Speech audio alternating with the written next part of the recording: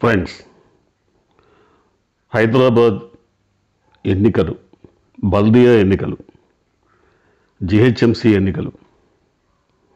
మొత్తం మీద జిహెచ్ఎంసి ఎన్నికల్లో పొరుగు రాష్ట్ర అంశాలు దేశ విదేశాల అంశాలు స్థానిక అంశాలు ప్రతి ఒక్కటి చర్చనీయాంశంగా మారటమే కాకుండా ఎన్నికల నినాదాలుగా మారటం ప్రజలను తికమకబెట్టి ప్రజల ముందు ప్రజల ముందు కొన్ని క్విజులను ప్రశ్నోత్తరాలను ఉంచుతున్నాయి వివిధ రాజకీయ పార్టీలు. ఉదాహరణకు తెలుగుదేశం పార్టీకి చెందినటువంటి ఒక మీడియా అమరావతి అంశాన్ని బల్దియా ఎన్నికల్లో ఎందుకు ప్రస్తావించరు? టీఆర్ఎస్ ఎందుకు ప్రస్తావించదు? లేదా మరో పార్టీ బీజేపీ ఎందుకు ప్రస్తావించదు? అసలు అమరావతికి తెలంగాణ రాజధాని ఎన్నికలకి ఏమైనా సంబంధం ఉందా అని ఎవరైనా ప్రశ్నిస్తే ఎందుకు లేదు?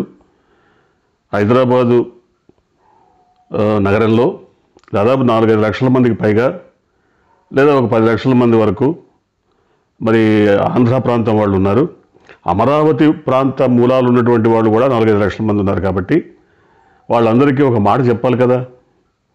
అమరావతికి సపోర్ట్ చేయాలి కదా? అంటే వీళ్ళ ఈ రకమైనటువంటి వాదన చేసే వారి యొక్క మనస్తత్వం చివరకు అమరావతి అంశాన్ని అమెరికా ఎన్నికల్లో మాత్రం ఎందుకు మాట్లాడకూడదు?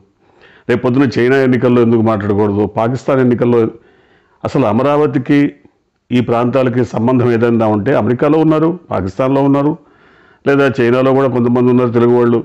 కాబట్టి ఎందుకు మాట్లాడకూడదు అనేటువంటి ఒక పరిస్థితి తీసుకొస్తున్నారు. నిజమే. నిన్న మొన్నటిదాకా కలిసి ఉన్నటువంటి ప్రాంతం విడిపోయిన తర్వాత రాజధాని లేక ఇబ్బంది పడుతున్నటువంటి పరిస్థితుల్లో ఆ అంశాన్ని గురించి మాట్లాడచ్చు తప్పేం లేదు. కానీ అసలు హైదరాబాదు పదేళ్ళ వరకు ఉమ్మడి రాజధాని. ఆంధ్రప్రదేశ్కి కానీ తెలంగాణకు కానీ ఉమ్మడి రాజధాని. దీన్ని ఎందుకు వదిలిపెట్టి పారిపోయారు హడావిడిగా ఒక ఏడాదిన్నరలోనే? ఈ ప్రశ్నకు ఈ అడుగుతున్నటువంటి అమరావతి కోసం మరి ఉద్యమిస్తున్నటువంటి నాయకులు ఎందుకు సమాధానం చెప్పరు? నిజానికి హైదరాబాదులో ఉమ్మడి రాజధానిగా కొనసాగి ఉంటే కేంద్ర ప్రభుత్వం దీన్ని మనకు అనుకూలంగా లేదా మనకి తగిన విధంగా మనం కోరుకున్న చోట నిధులు కేటాయించి రాజధాని నిర్మాణానికి సహకరించి ఉండేదేమో.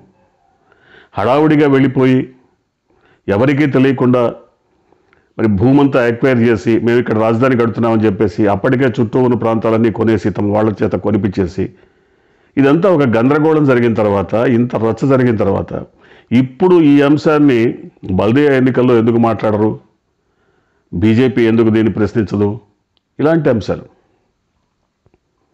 ఇది నిజానికి వాళ్ళ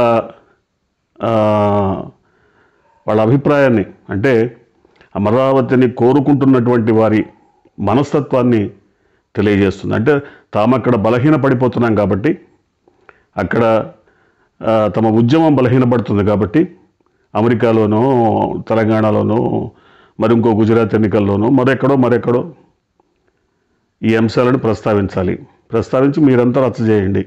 లేదా జగన్మోహన్ రెడ్డికి చెప్పండి. ఏ విధంగానైనా వికేంద్రీకరణను ఆపండి. ఇది వారి అంశం. మరోపక్క బల్దీ ఎన్నికల్లో అసలు పాకిస్తాన్ అంశాలను కూడా తీసుకొస్తోంది బీజేపీ. పాకిస్తాన్ వాదులు అక్రమ వలసదారులు రోహింగ్యాలు వీళ్ళంతా పాత బస్తీలో ఉన్నారు హైదరాబాద్లో. మేం గనక గెలిస్తే బీజేపీ మేయర్స్ పీఠం మీద కూర్చుంటే సర్జికల్ స్ట్రైక్ చేయిస్తామంటాడు మరి బీజేపీ రాష్ట్ర శాఖ అధ్యక్షుడు బండి సంజయ్. ఇది తీవ్రమైనటువంటి అంశం.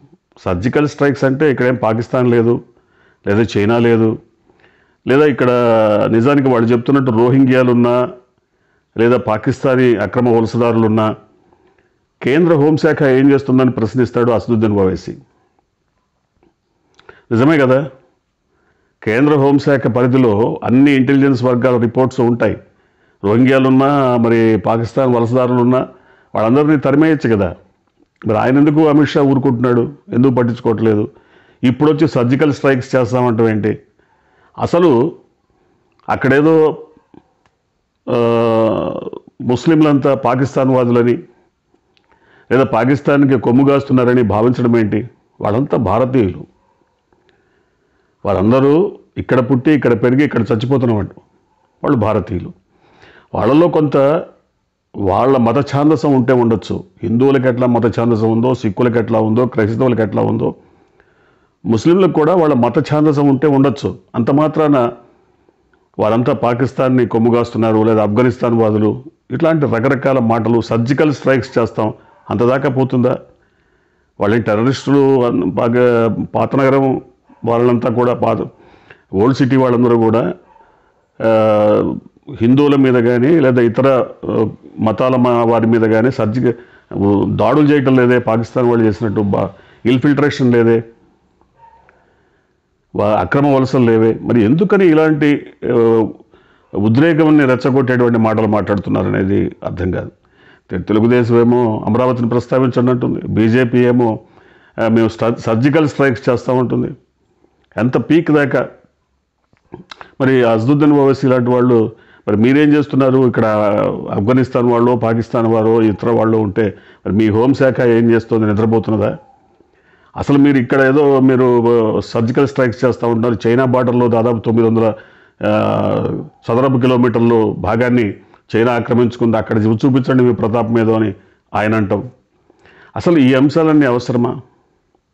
స్థానికంగా రోడ్లేంటి మంచినీరేంటి లేదా డ్రైనేజీ ఏంటి నిన్న మొన్న జరిగినటువంటి మరి వర్షాల కారణంగా పడిన ఇబ్బందులేంటి వీటన్నిటిని ఎవరు ప్రశ్నించట్లా? ముఖ్యంగా నగర నగరం విస్తరిస్తున్న నేపథ్యంలో శివారు ప్రాంతాలన్నీ కూడా శీఘ్రగతిన వేగంగా అభివృద్ధి చెందుతున్నాయి. నగర శివారు ప్రాంతాలన్నీ కూడా మనం నీట మునిగిపోయినాయి. నగరం నడిబొడ్డున నడిబొడ్డున ఎలా వరదల భీభత్సం జరిగిందో శివారు ప్రాంతాల్లో కూడా దాదాపు పది పదిహేను రోజుల పాటు నీళ్ళలో మునిగిపోయినటువంటి పరిస్థితి. అక్కడ ఏ విధమైనటువంటి డ్రైనేజీ సౌకర్యాలు కల్పించాలి? అక్కడ ఏ విధమైనటువంటి మరి ముంపు ప్రాంతాల వాళ్ళని రక్షించేటువంటి చర్యలు తీసుకోవాలి?